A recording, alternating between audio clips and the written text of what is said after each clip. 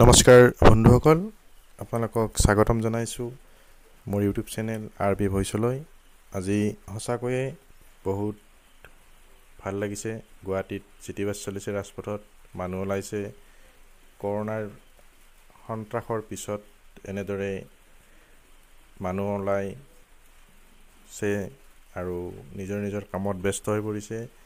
কিন্তু ইয়াতো বহুতে চৰকাৰী নীতি নিয়ম নামানি মাস্ক ব্যৱহাৰ নকৰি যেনে তেনে ঘূৰিছে সেইবোৰ বাৰু তেওঁলোকৰ নিজা কথা। আনহাতে কিছুমানে মাস্কখন লৈছে যদিও মুখখন ওলাই আছে এনেই ল'ব লাগে লৈছে। আচলতে পুলিচৰ ভয়ত বা ফাইনৰ ভয়ত তেখেতসকলে এনেকুৱা কৰিছে বোধহয়। যি কি নহওক মানুহবোৰ এই ৰিক্সা চালকবোৰ আহিছে ওলাই বহুদিনৰ মূৰত।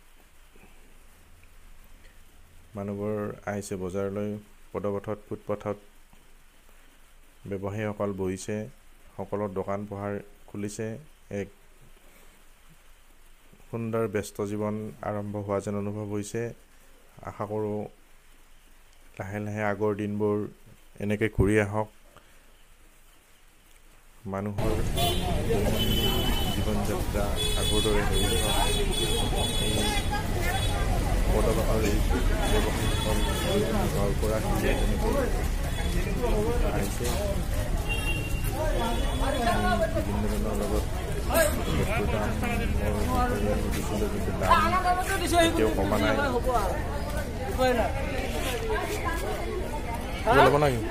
আচলতে যাতায়াত ব্যৱস্থা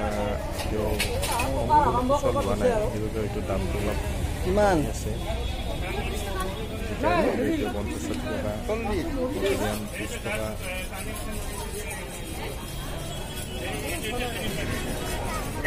কঁঠাল কি দাম পঞ্চাছ চল্লিছ টকা ত্ৰিছ টকা। পকচি না পকা নাই? পকা নাই। মানে কাঁচা এশ না পকা এশটো? পকাই কয় পুষ্পা লাগিব। কালি মানে পকি যাব। যোৱাকালি পাৰিছিলোঁ মাছৰ জৰা অৰ্থাৎ মাটি কঁঠালৰ জৰা পঞ্চাছ টকা। কঁঠালৰ চল্লিছ টকা। কঁঠালকেইটাততো বেছি ডাঙৰ নাছিলে। অ' জিকা কি দাম জিকা পঞ্চাছ। পঞ্চাছ।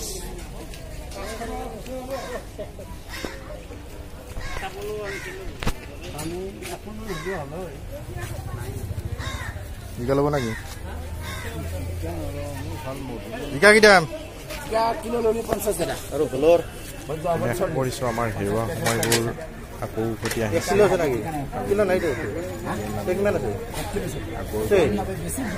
লকডাউনত থাকিব লগা নহয়।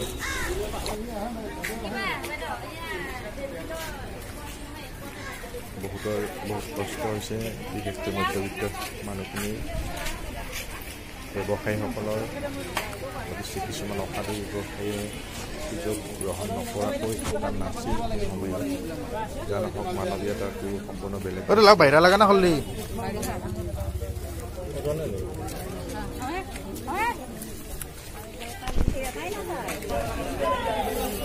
সঁচাকৈ আজি বহুত ভাল লাগিছে।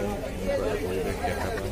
বহুদিনৰ মূৰত মোটামুটি মাৰ্চৰ শেষ শেষৰ পৰাই এনেকুৱা এটা পৰিস্থিতি হৈ আছিল।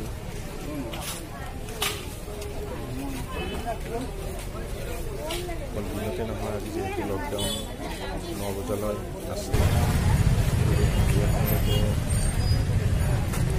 কৰোণাৰ কেছটো চলি আছে।